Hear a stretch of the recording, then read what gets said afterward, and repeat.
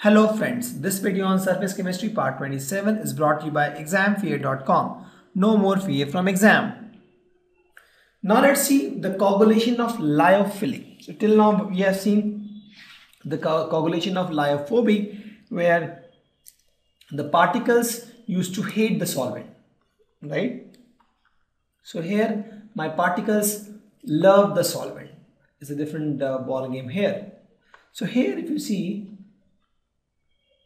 what is happening is the reason for the stability of these kind of uh, colloids where the particle loves the solvent there are two. One is what? One is the same as we had in lyophobic that is the charge. Charge on colloidal particles. This charge correct? It may be positive or negative. This charge on colloidal particles. This is one reason and the second is solvation. This is something which is not there in lyophobic because solvation is nothing but mixing of the colloidal particles into solvent and this is nothing but the love of the colloidal particle for the solvent. That is my solvation. So there are two factors here, right? So if you want to, uh, for the stable, there are two factors for the stability of this kind of solution, lyophilic solution. So if you want to coagulate these kind of solution, you can either remove the charge on the colloidal particle and this we can do by all the methods which we have explained just now, right? You have to just add electrolytes, you can do dialysis, you can do whatnot just to remove the charge. The second thing is to, to get rid of the solvation, we can add suitable solvent.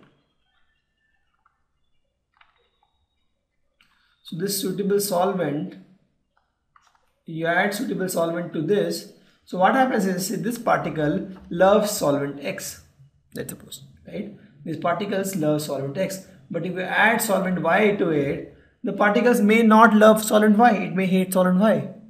And then it may become unstable correct? So for example you love your school. You love your school because of some teacher. Maybe you love your school because of your physics teacher or chemistry teacher. If the teacher has left the school and some other teacher comes you may not love your school, right? Because the reason why you loved your school was something else. That was your teacher.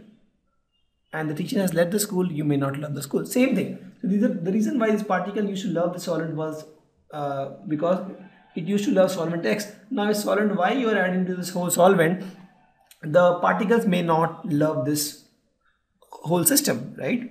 So that's what we do.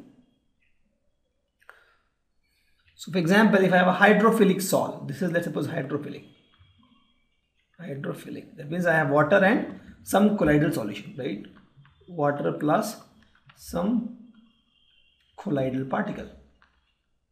Now in this, in this combination, if I add acetone or alcohol, see if I if I'm talking about a hydrophilic sol and it is with water, that means the particles loves water now instead if in on the in this solution if you add acetone or alcohol, now the particles which love water will very sure shot hate acetone or alcohol, right? Because we have seen this.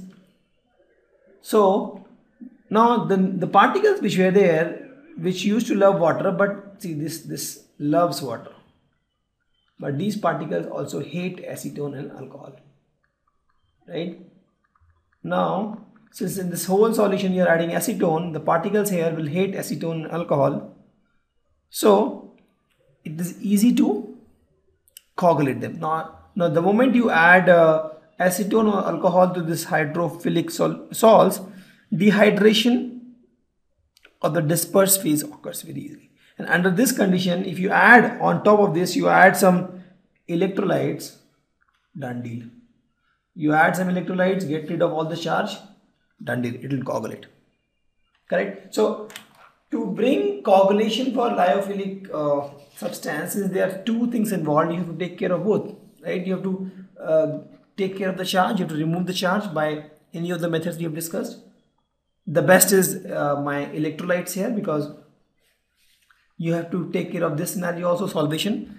So you have to get rid of the solvation by adding some suitable solvent. Please note you have to add some suitable solvent. If it is a hydrophilic sol, you have to add acetone or alcohol, right? If it is, if it is a sol of alcohol plus some part particle, then you may have to add water. Hope you understand. See, in lyophobic uh, the only thing that was responsible for the stability was the charge on the colloidal particle. So we discussed all the ways to remove the charge on the colloidal particle. But in hydrophilic sols, there are two factors that are responsible for the stability. One is the charge on the colloidal particle, and other is the solvation. Solvation is nothing but the affinity of these particles for this solvent.